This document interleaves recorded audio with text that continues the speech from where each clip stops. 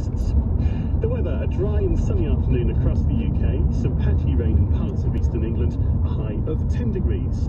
From Global's newsroom, I'm Simon Morgan. This is Classic FM from Global. Saturday afternoon is starting to take delightful shape, is it not? If lunch is